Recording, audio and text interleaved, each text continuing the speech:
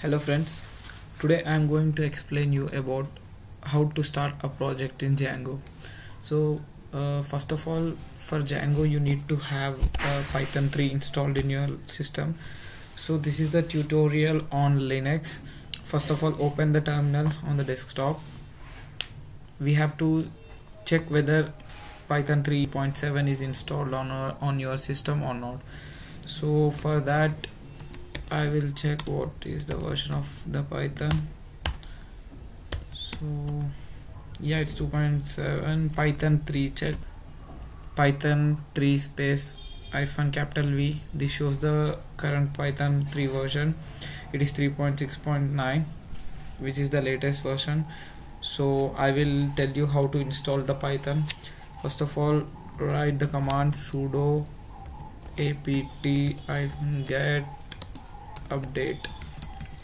First of all update. Okay sudo sorry. Is asking for the password. Enter your password.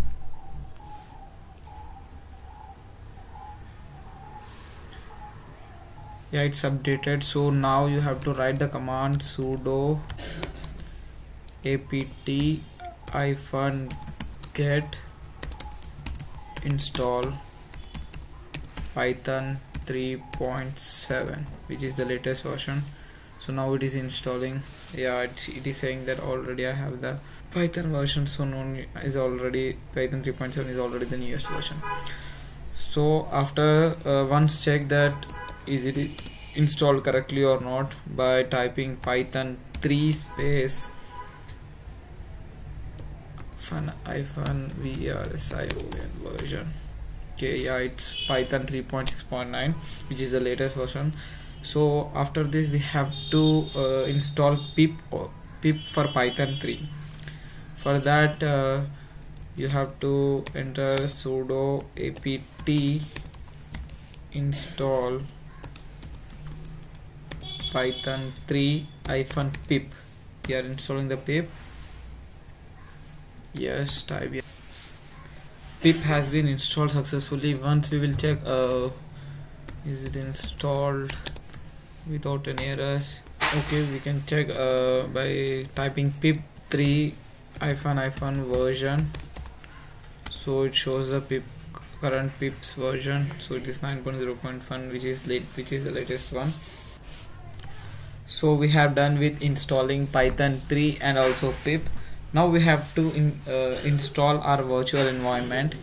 So for that we have to write the command virtual env space hyphen p python 3 v space venv yeah you can see uh, a new folder is created in the folder with the name venv so now to activate the virtual environment you have to type source space venv slash bin slash activate.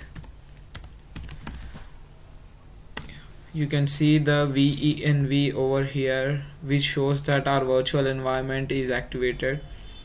So there are different commands in uh, windows 10 also. So i later on i will be making a video on uh, windows 10 so don't worry so now you have to install uh, the Django.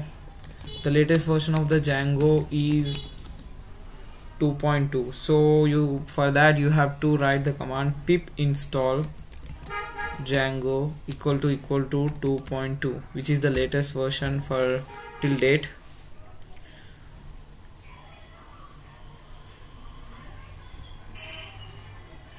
Yeah the Django has been installed. So Django has some specific commands. So to check those you have to write you have to type Django admin space help.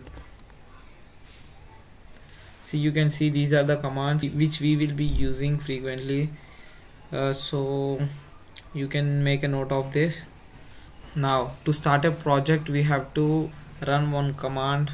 The command says that Django hyphen admin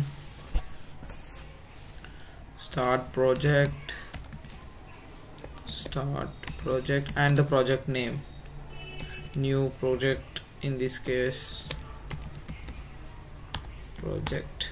You can see a new folder has been created with the name new project. So now I will go inside it cd new underscore project yeah now I'm inside the folder. I prefer you guys to install VS Code. It is a good software. It does not hang. Coming back to this thing I am going to open the virtual studio so this is the code. This we have generated uh, manage.py this is the main um, main file from where we will run all the commands. There is a urls page where we can link uh, one page to another. There is a settings file and uh, yeah this is the file structure of the Django project. So now to run the project we have to write the command python manage.py space run server. The server is running and uh, ignore this error. I will tell you what that error mean. Open the link. So it shows that the install worked successfully. Congratulations. The Django is installed correctly. So finally we have created our first Django project in the Linux system in the coming video I am going to explain you how to make a user to log in and log out through your website. And also I will explain how to make your user to log in through Google or Facebook sign in that is also one of the method. Thank you. Please like the video if you like and subscribe